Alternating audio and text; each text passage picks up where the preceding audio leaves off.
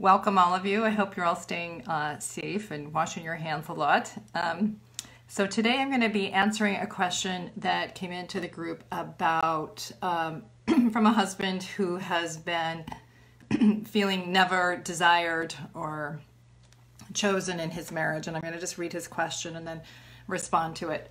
this is his question. He says, My wife and I have been married for over 20 years, and pretty much the entire marriage has been about duty sex for her. I came forward with some pretty serious betrayal three years ago that we are still working through and will still take time. I know duty sex is not really beneficial for either spouse. It leaves me unfulfilled and her feeling obligated, and there doesn't seem to be an end of this type of sex in sight. I either take duty sex or I go without. I really want to be physically intimate and emotionally vulnerable and connected during sex, but she's not able or willing to try for that. Okay, so my question is do I take what I can get and feel guilty and selfish?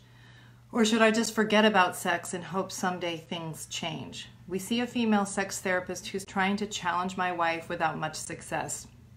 We have an agreement that I can masturbate when I want without porn, but that's really not that fulfilling when it's the main source of sexual release.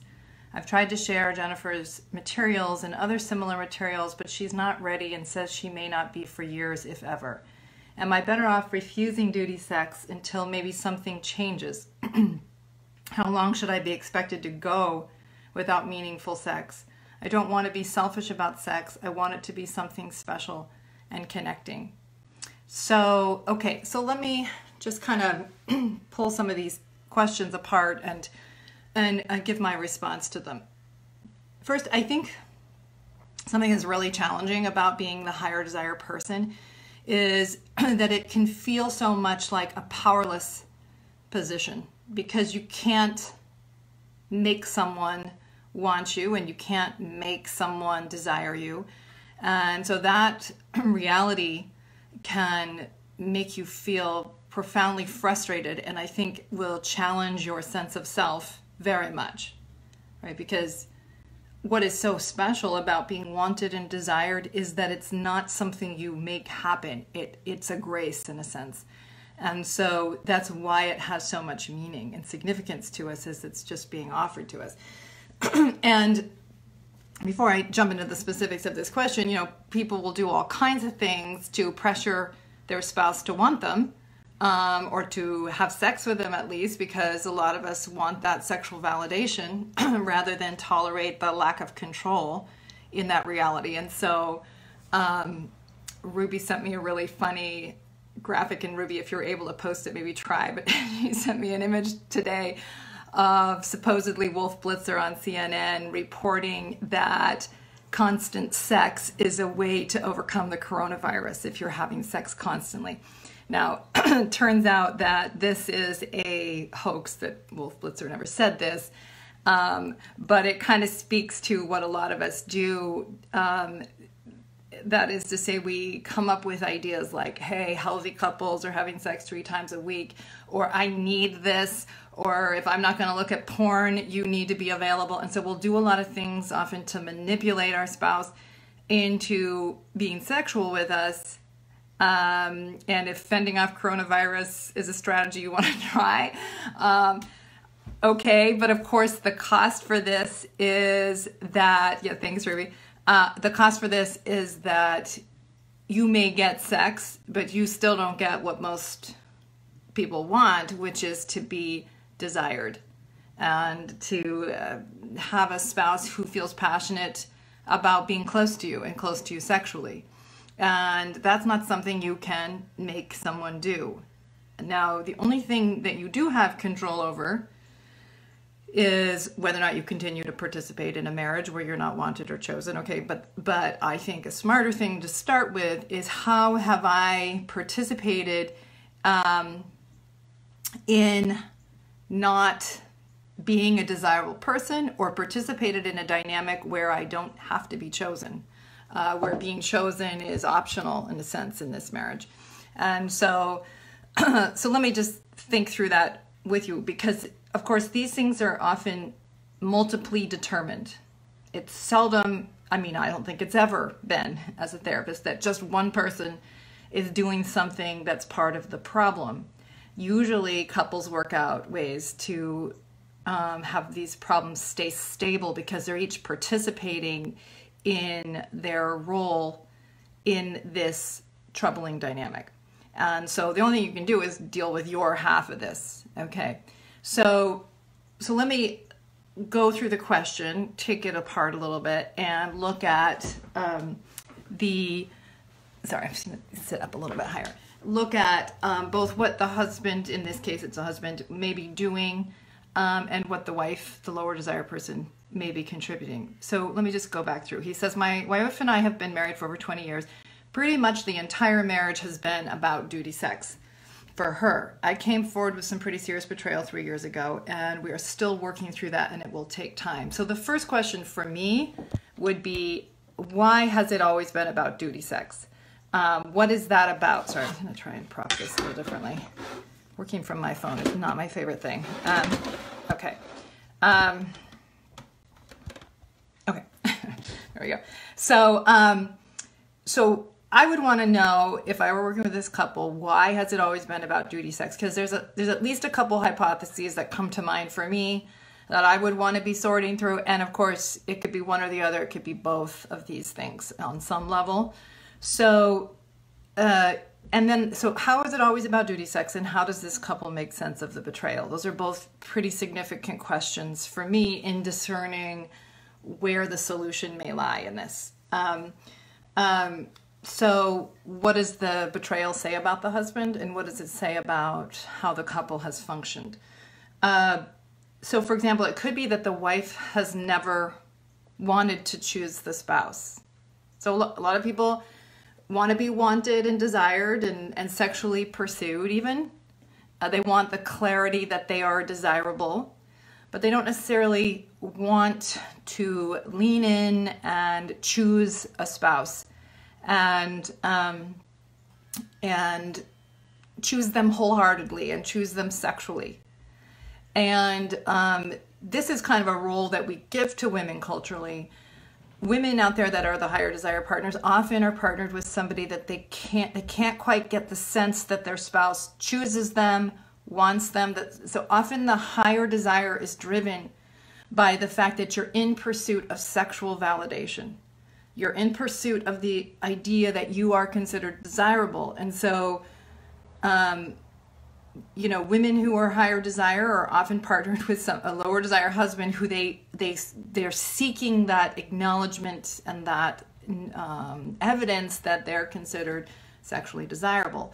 So that's why these high low dynamics will emerge. This is really the thinking of dr david schnarch who talks about this um, in I know he talks about it in his book Desire and Intimacy, but also probably um, so you know so these dynamics often emerge around the issues of validation.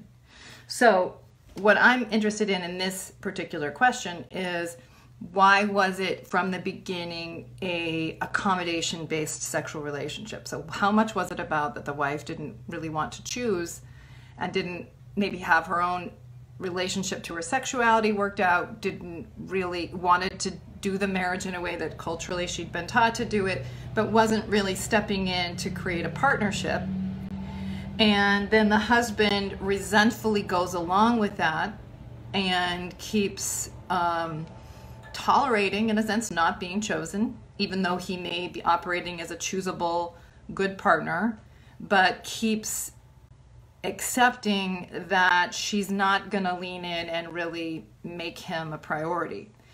Um, but here's the key thing that he is operating in a, in a desirable, choosable way. She just doesn't want to grow up.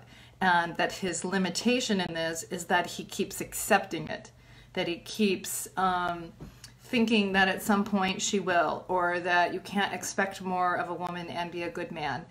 And possibly then his resentment about that, his um, quiet like stuffing of his anger about that turns into that the, desire of another person or i don't know what the betrayal exactly was but you know the, the possible va- validation of another person becomes compelling enough for him and he has enough resentment built up that this becomes his choice. And if that's the right picture, I don't know that it is because I have another picture or two involved in my mind, uh, that this can now kind of be the perfect way for the lower desire wife to not deal with the issues of her sexuality and her ability to choose her spouse because now she has some victim status and she can use the idea that um, you know he's the bad husband that she's now justified in not choosing. And so because she's suffering from you know that betrayal she's not got anything to promise him. And sounds like that's at least partly how it's getting put together based on how he's putting this. The other possibility let me just throw out um, um, another possibility. And you know these can both be operating on some level in any given dynamic but i think that the other possibility is that the wife didn't necessarily have issues with her sexuality or maybe was wasn't so much reluctant to choose her husband but that he was operating in a kind of entitled way from the beginning that sex was really about him and getting the sexual validation he felt he deserved.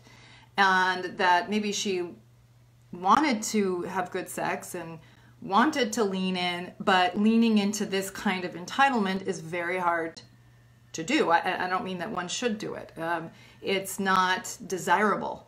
It means that if I am sexual and choose you, I kind of lose myself in a sense because it's all about propping up your ego and your sexuality, and that's not fun for me. So it's not that I don't like sex, it's that I don't like this kind of sex and I don't like this kind of meaning. And so now, what a lot of people do when they're in that situation, they don't necessarily know how to address it. They don't kind of want the mess of trying to address it. They may have their own self doubt about whether or not it's legitimate for them to stand up for something better for themselves. Um, and so they may quietly just accommodate but not really address the dynamic in the marriage and and make it better.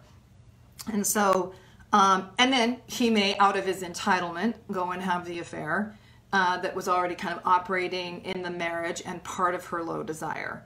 And she may then continue to have low desire, but more out of um, some good judgment in a sense, like I don't like who you are, and I don't necessarily want a divorce, and and you know, maybe I'll do enough that this marriage doesn't blow up, but I don't really want you. And that's the truth of it. So, um, okay, I have no fever, just to, I to blow my nose.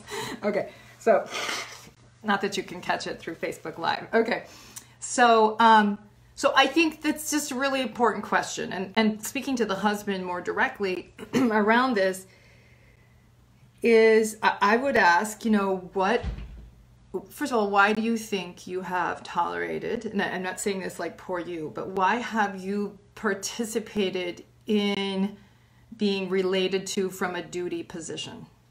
And this is a really important question because, first of all, um, is it your own difficulty validating your desirability, which I think it is. Okay. And, and why do you have difficulty validating your desirability? Is it because you function in ways that you know are not very desirable and you know a woman in good judgment wouldn't want? Have you addressed the issues in yourself that were a part of your infidelity and you know you're operating from a desirable position in a way that it would be safe for her to lean into you, open up to you, but she just chooses not to? Or are those issues still unaddressed, right? Because a lot of people want the idea that time will heal things, okay?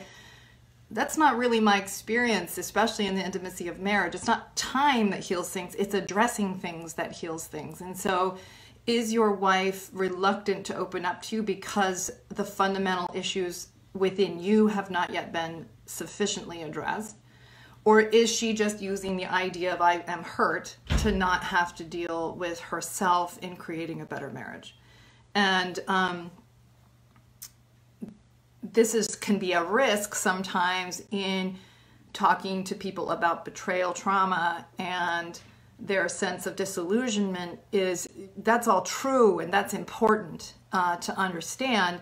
But is it a kind of waking up that allows people to move forward and not just get stuck in a kind of helpless victim position? It's very very important for people being able to bring their strength to create something better in their lives whether that's in their marriage to make something function better or they uh, move on because it's not a great place to invest themselves so, um, okay, so let me just go back. Where was I here? Um, okay, so why has the husband done this? And um, it, is this about him? Now, let's say he really has addressed himself in this. Um, let's say he hasn't. Let's go with that first. Okay. Well, you don't have control over, over whether someone desires you. As any of you have listened to me, you probably heard me say this. You do have control over your desirability. You have control over your trustworthiness. You have control over whether or not it would be safe and desirable to cozy up to you, open your heart and body up to you, or not. And a lot of us, I sometimes say this to clients, and they never believe me at first. I sometimes say this to my higher desire clients. You want, you don't actually want intimacy. Okay, you want control and you want sexual validation, but you don't want intimacy. And they're like, no, no, I absolutely do. okay. And the way that this husband is talking about it, he is saying something to the effect of, I really want to be physically intimate and emotionally vulnerable and connected during sex, but she's not able or willing to try for that.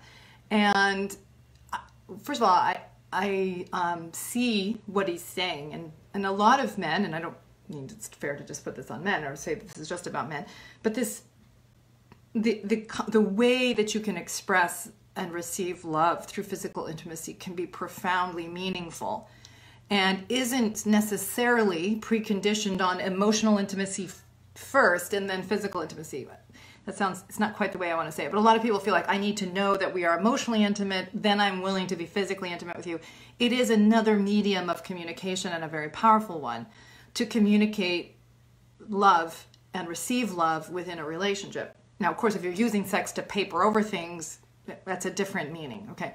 But, um, and so this husband is saying, I want to be able to communicate love and receive love in this way. And I'm sure he's, he does. But I think that many of us want the control or the sense of sexual validation of getting someone to be sexual with us rather than intimacy because intimacy is I'm willing to know why you don't desire me. I'm willing to understand what is going on with you. I want to actually know you, not in as much as it reinforces me, but I want to actually know you and how you operate, even in the places that panic me, okay? Because they don't revolve around me or don't necessarily assure me that I'm going to get the things that I want from this marriage but I'm still willing to know you and be knowable to you. And that's much scarier stuff. I mean, we seldom uh, find that to be so easy and comfortable. Usually, we're wanting our spouse to reassure us that we're sufficient and adequate and sexually desirable. And we're looking more for that than we're looking to really uh, be seen for the good and for ill. And so, a lot of people and, so this speaks to, sorry, these aren't easy questions, but uh, I, I've never been good at the 10 tips for a better sex life, okay? So I'm probably not going to get hired by Cosmo anytime soon.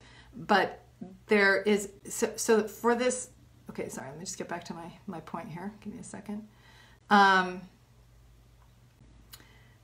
so I think that for this husband, he um, wants to look at why is he taking duty sex because does he think that's all he can get is he prioritizing control over being desired because anytime he says yes to duty sex um, he is saying you don't have to choose me you don't have to give me any better than this now he may complain and whine about not getting better and resent about not getting better, but he's complicit in not getting any better than this. So let me just go to this question. He says, I know duty sex is not really beneficial for either spouse. True. Okay. This is a humiliation to both people in a way. Right? You're saying, I'm willing to be tolerated. Now, that is a statement to your wife about yourself. It's also a statement to her about how much you want to really be with her as opposed to be sexual, sexually being propped up. And so you say you feel guilty and selfish. Um, yeah, okay, I'll take it in the sense that you feel like I know I'm kind of just using her to get something to prop me up, but I also think it's self devaluing. Um, and so um, the the questioner goes on to say, should I just forget about sex and hope someday that things will change? It's not so much forgetting about sex and hoping things will change. It's basically saying, I don't have control over anybody else loving me. I never will. Uh, but I do have control over how I participate in my relationships. And I'm doing it in a way that's bad for her and bad for me. And if I really want to be chosen, I need to operate like somebody who is choosable and wants to be chosen, insists on being chosen. okay. Uh, because otherwise, I'm a part of the problem, and it's not for me. It's that I'm I'm doing something that we're going to run this marriage from a place of validation, exchange, and safety, as opposed to a choice-based marriage. So um, this person goes on to say, we see a female sex therapist who's trying to challenge my wife without much success. Well, what I would say is the wife doesn't need to be challenged. She can. She's pulling this off in the frame that feels safe enough for her accommodate him once in a while, feel like I've done my job. I don't really want to open up to him or take the risk of choosing him and loving him and or addressing what's getting in my way around that relative to his behavior, who he is, my anxieties about sex and intimacy because he's taking it as it is. And now you've got the therapist fighting for you, but you're not actually operating from a position that pushes your wife to sort out who she wants to be and keeps you from having to grow yourself up as well. Um, and we have an agreement that I can masturbate without porn, but that's not fulfilling uh, when it's the main source of sexual relief because because release because yes, uh, most people it's not they don't it's not orgasms that they're after they're they want to be wanted they want to be chosen. Um, the person goes on to say, I've tried to share JFF materials and other similar materials, but she's not ready and says she may not be for years, if ever. Exactly. This is not an issue of time. This is an issue of it's operating well enough. I'm not saying your wife loves this, I'm sure she doesn't. I'm saying it's operating well enough in the current dynamic, and she's being honest. Um, I may never want to deal with any of this. okay. So, good. And so I think then the question is, uh, why don't you want to ever deal with it? And what's my role as a husband in this? Um, and you say, I don't want to be selfish about sex. I want it to be something special and connecting. And I think in order for you to achieve that, you have to be willing to stand up for better, which is going to mean not accepting what's less than uh, fully chosen sexuality. Now that's different than your wife coming in with full passion the next time you have sex, okay? But it's it is about two people choosing to create something better.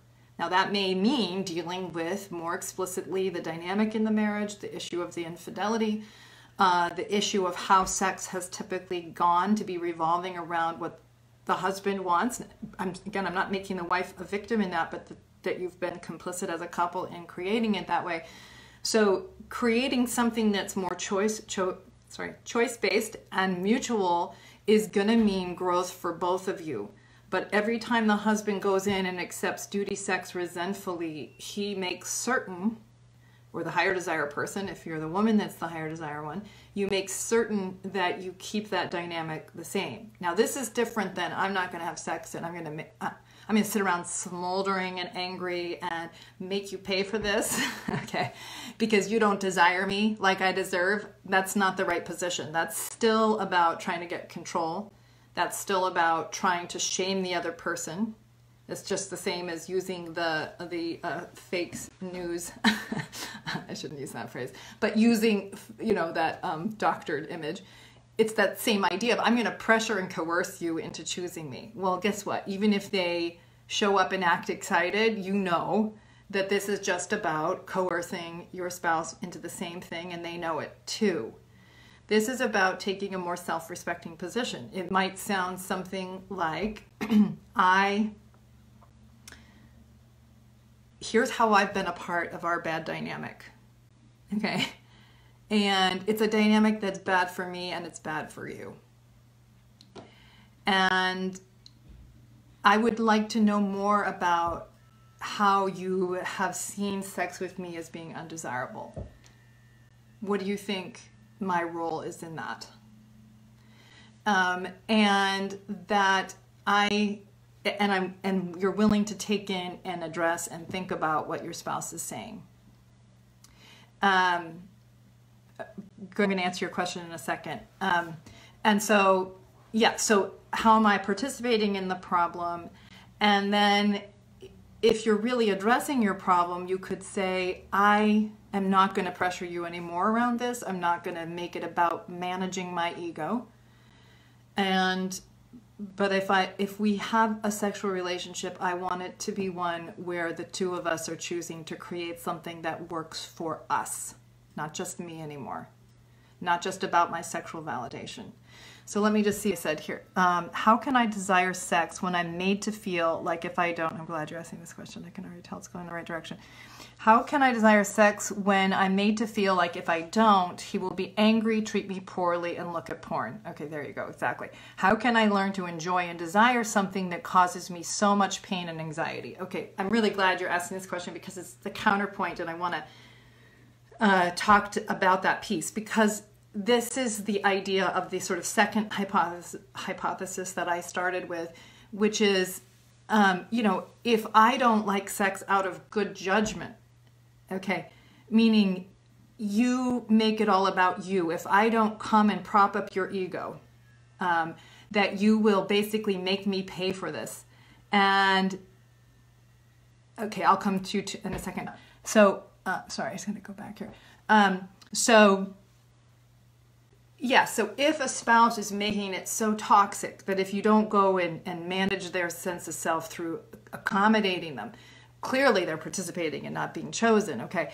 And what I would say to that person, to the wife in this situation, is that in order to create a choice based marriage, you have to deal straight up with how unchoosable your spouse is. And so it's, you're staying invested in creating, this is not about the goal is having sex.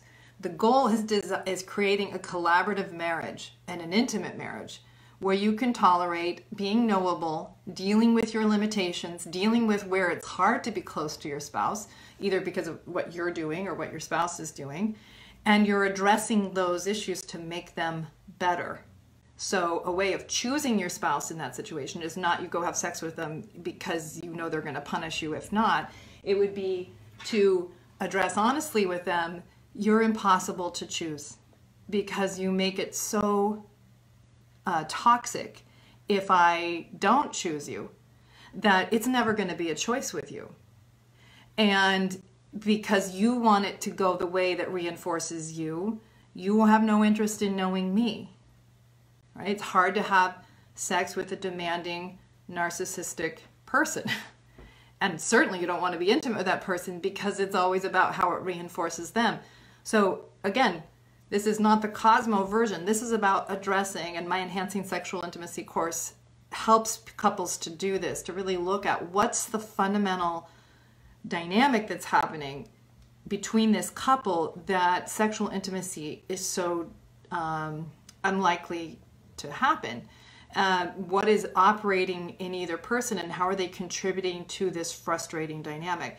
So the person that is out of good judgment not interested in sex the way she or he is choosing the marriage is stepping up and naming and addressing that and saying, I want to have good sex with you.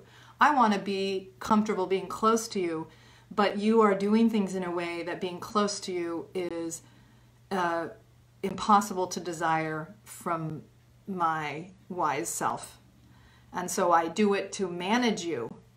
But you always feel managed because you are. And I always feel resentful. And this is bad for me to participate in with you.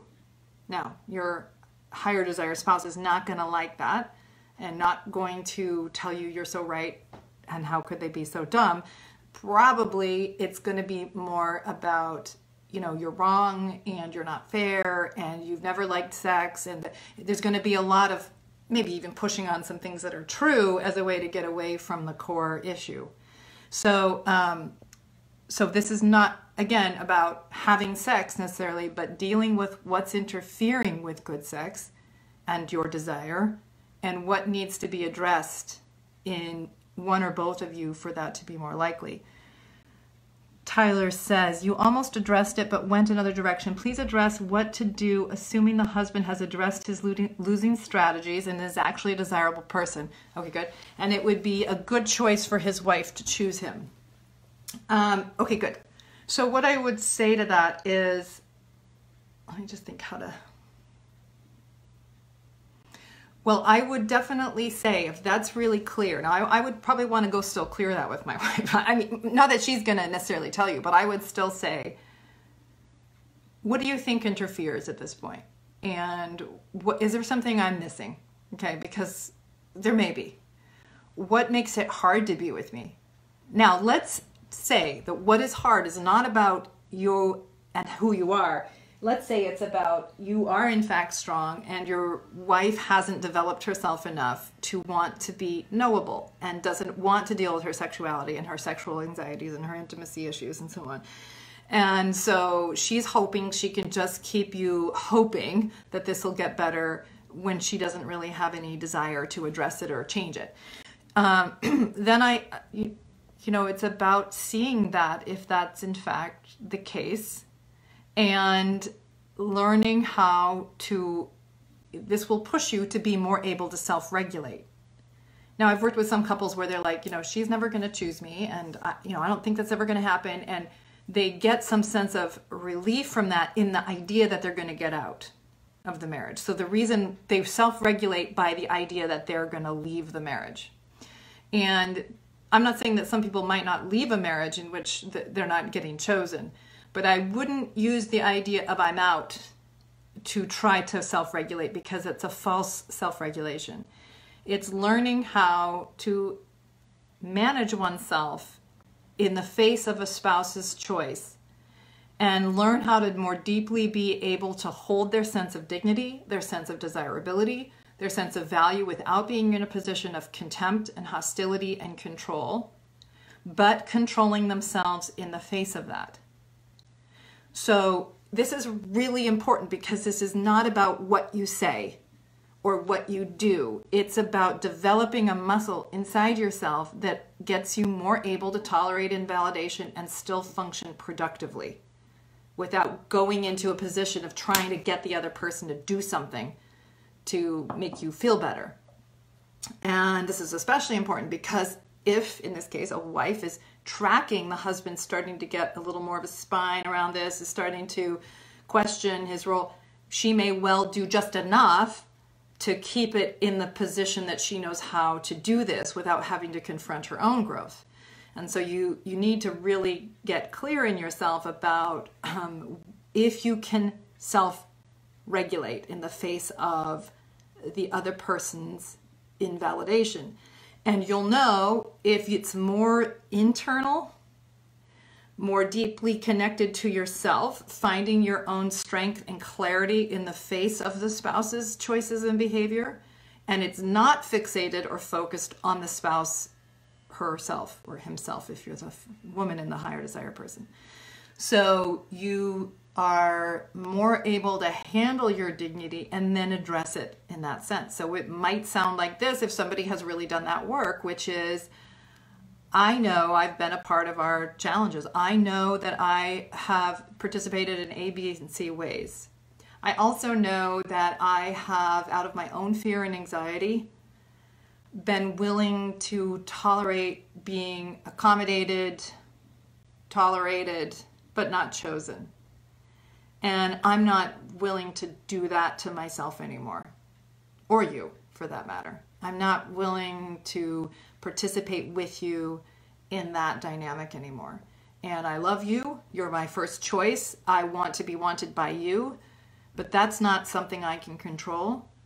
That's not something I can make happen. And I'm going to stop pretending I can. And if you don't choose me, and you don't have to, uh, then I'll, you know, sort out what I'm going to do in my life that I can live with and feel good about. But I don't want to pretend anymore that that's in my control beyond dealing with how I may be easy to not choose. So, okay, let me just see what else. Um, this person says, how are you supposed to deal with wanting to have more sex than your spouse because you have an anxious attach attachment? I feel like that is how I feel my spouse's love. He's affectionate, though. I just crave his constant affection. Okay, good. So I think um, what you're speaking to here is that this is desire driven by the difficulty with self regulation, not desire for another person, right? And again, David Schnarch talks about this a lot, this idea. So this is not, this is about the seeking of, I want you to love me. I want to be clear that you find me sufficient, or I want the IV drip of validation through sex and affection that uh, is a replacement. It doesn't work, but a, a replacement for learning to internally validate. And, you know, my golden retriever definitely has this issue.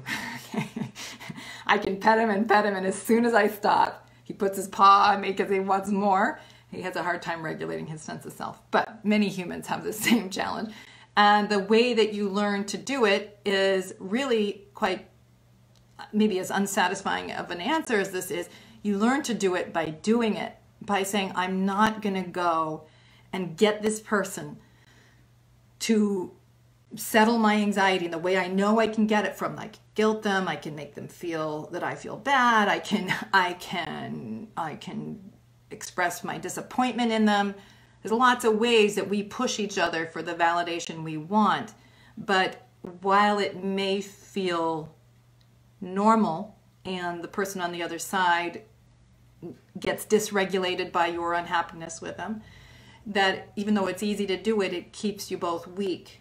And so I talk about this in the Strengthening Your Relationship course. I talk about this moment where I couldn't get my husband's validation. It's just one picture but instead of going after it through judgment and pressure, I instead pulled myself away, self confronted, and tried to calm myself down, hold on to my sense of dignity, my sense of self, tolerated that he has other choices than just propping me up, and and to find my ability to sustain myself in a deeper way. Now it feels like a small thing. There's you know, how do you prove it to anybody? But something's growing inside and it makes you stronger as an individual and it makes you stronger as a couple because now your spouse is choosing you not because they're trying to still manage this vulnerability and anxiety in you. They're choosing you because you're choosable and you're sustaining yourself. In really good sex it's two people that can take responsibility for themselves take responsibility for their sexuality and their sense of self and really share themselves with one another. It's not about caretaking. Good sex is never about caretaking. And I don't mean to say that spouse is having a hard time and you're not that much in the mood for sex. You couldn't, in a sense, like be there for them sexually as a way of loving them and caretaking them. But th- that's like the blip on this screen in the bigger experience. And, um, and you know, isn't about trying to um, um, manage another person's sense of self chronically. Okay, so I'm going to take maybe just a couple more questions and then we'll stop. Uh, so he says, what are what I think what are the common core issues that couples often need to deal with, and who do they do this? How do they do this together?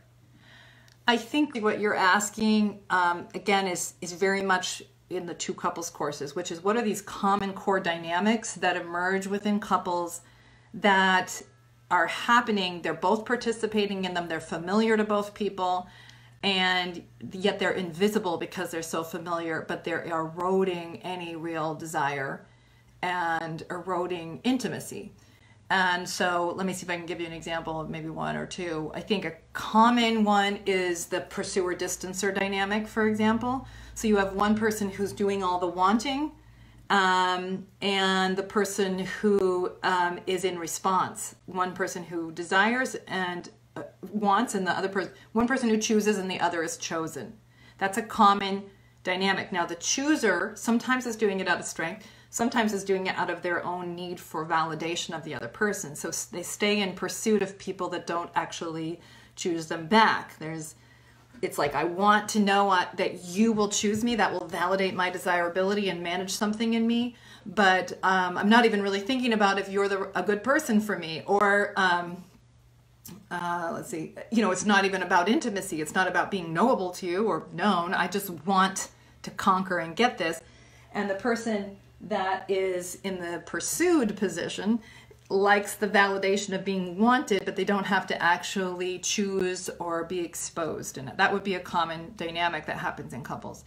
Um, there's a lot of variations on that theme, but let me see. You know, another version is the demanding or explosive spouse and then the accommodating spouse. So the accommodator resents but can't handle their sense of self well when the other person gets so upset and that can be upset through anger or upset through depression but you know you have this person that goes in and will manage and mitigate and try and handle the self of the more volatile one. And then this becomes like uh, you know i'm needy and i need to be needed. And so that's a, a locked in dynamic that manages the questions of self in a deeply unsatisfactory way but satisfactory enough that people keep doing it, but it's not really about deeper exposure and intimacy. So, you know, as I say a lot, you know, we often want uh, validation much more than intimacy. Intimacy is scary. That's I'm willing to know who I am, let you know who I am, and deal with who I am. And I'm an intimacy coach. I talk about it all the time, and I, I still hate it. okay, like, I mean, you know, I'm learning things about myself lately as a parent that have really sucked to learn, and I, I don't like it, and and yet it's all true, and so it's valuable to learn it. I'm grateful actually to be seeing more things about myself that I've been previously blind to. It's good for me, and good for my relationships. But it never feels good. It's never fun. We all want the fantasy that we're doing just great, and other people need to grow up, not us. uh, it's never true. Okay. Um, let's see, let me just take the next two and then I'll stop. Um, okay, so what signs or questions indicate the unchosen partner is headed in the right direction? Um, or am I just looking for replacement validation source? Well, no, you're not. Well, you might be, but let me just give you a couple answers to that. I think a signal that you're headed in the right direction is you can feel that you're unhooking. And not that you're becoming unconcerned. It's not like a resentful withdrawal, but you're not feeling as run around by the responses of your partner as much as you used to be. You're more able to see and track it and not care less necessarily. It's not that you're like, oh, I don't care about you. It's not resentment distance. It's like, I do care about you but I can see what you're doing. I can see where you're struggling, and I can still sustain my sense of self. I can still be in a conversation with you about what's going on with you, or even see myself and steady, steady myself in the face of your difficulty or any more feedback to me. So you can feel this deeper anchor happening. You feel less reactive, less like you need to control or manage the picture, less need to control the spouse, and more ability to regulate yourself. Now, I think this leads right into the next question of what does it mean to self regulate in the face of a spouse's invalidation? Okay, good. You're asking a very reasonable question, and it has a lot to do with how I teach these things. And so people who have taken the courses will better understand these basic principles. But this is, you know, a lot of my work is based in differentiation theory that uh, Murray Bowen taught uh, a few decades ago. David Schnarch does a lot of work with. And this is the idea simply that human beings, as they grow in their psychological and relational development, grow into deeper ability to manage their own sense of self without being propped up, approved of, told they're sufficient by the people around them. And we, as babies and children, are dependent upon validation. It's the way we learn a self is to gather a sense of who we are through how people are in relationship to us and this is how the brain develops is in these dynamics uh, the healthier those dynamics are the easier it is to grow into a more autonomous self uh, that is unique and and expressing herself or himself uniquely in the world without constant validation and can handle the sense of knowing that they're sufficient and valuable and beloved by God and so on without other people managing that for them. And people that are parented less well are more likely to continue to look for people to manage their sense of self, tell them they're enough, prop, think, prop up their minds through agreeing with them, um, managing their sexuality. We can do it in two different ways, and I talk about this a lot more in the courses, but you can do it through um, being what will make your spouse happy with you. So, accommodation, I'll be whatever you want, just love me. Or people can do it through pressuring others to conform to them, like just want what I want, have sex with me when I want you to have it, you know, like the same things I like, believe as I believe. Um, and if you do, everything will be a lot better and uh, I'll be happier, you'll be happier. okay. The third way is that you keep distance in the relationship. You don't let somebody matter too much to you. So, uh, th- this fundamentally human tendency is very easy to play out in our most important relationships. And that's why marriage is a divine institution because, and, and parenting for that matter, is it teaches you, if you'll let it, a lot about who you are and where you struggle with these issues. And so my courses are designed to help you see where your pursuit of this and your difficulty with self regulation is undermining your happiness in your life undermining your self respect, and undermining your capacity for intimacy in your marriage. Okay, just because I am uh, out of time, I need to stop, but there's lots of great questions here. And um, I hope you all have benefit from, benefited from it. And if you're in the group and you you know have more questions coming out of this feel free to ask them other group members have lots of great insight particularly people that have followed my work and i sometimes get in there and answer some questions too so I hope this gives you at least a starting point for thinking about some of these challenges.